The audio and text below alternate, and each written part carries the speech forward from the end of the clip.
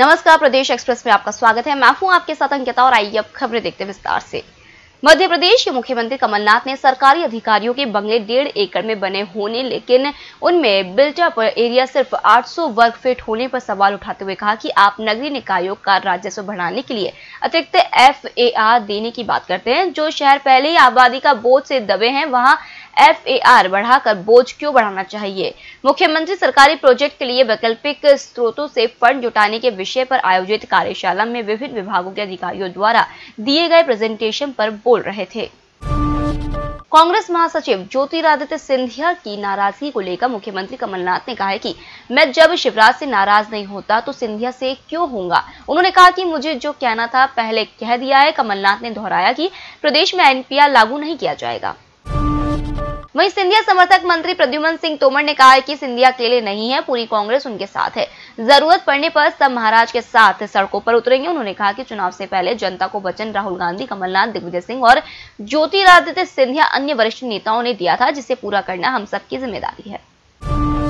कांग्रेस में चल रही आंतरिक राजनीति पर टिप्पणी करते हुए भाजपा के राष्ट्रीय प्रवक्ता शहनवाज हुसैन ने इंदौर में कहा है कि कांग्रेस के घर में आग उसी के चिराग से लगी है। मैं मानता हूँ कि प्रदेश के मुख्यमंत्री कमलनाथ दबाव के मुख्यमंत्री हैं। पोषण आहार के मुद्दे पर पूर्व मुख्यमंत्री शिवराज सिंह चौहान और मुख्य सचिव ऐसा मोहंती फिर आमने सामने हैं। मोहंती का कहना है कि पिछली सरकार में काम ही नहीं हुए। एक योजना पर पूर्व मुख्यमंत्री शिवराज सिंह चौहान को पीपीपी मोड से पैसे के इंतज़ाम के बारे में कहा तो उन्हें इसका पता ही नहीं था।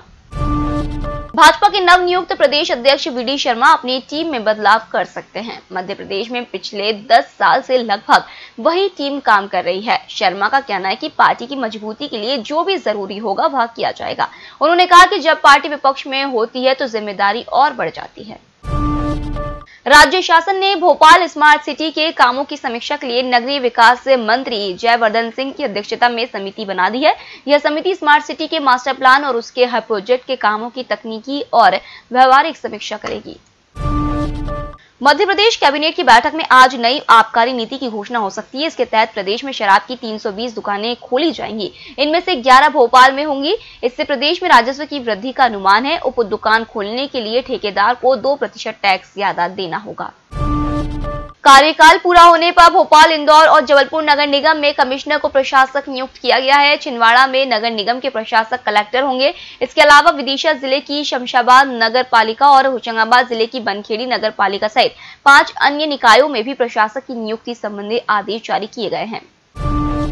भोपाल में बिना विदाई समारोह और बैठक के निगम परिषद का कार्यकाल समाप्त हो गया। महापौर आलोक शर्मा ने रैली के रूप में आकर निगम आयुक्त को सरकारी गाड़ी की चाबी सौंपी। वहीं भाजपा और कांग्रेस पार्षदों ने अपने अपने इलाकों में कार्यक्रम किए फ़िलहाल इस बुलेटिन में इतना ही। आप बने रहिए के साथ। नमस्कार।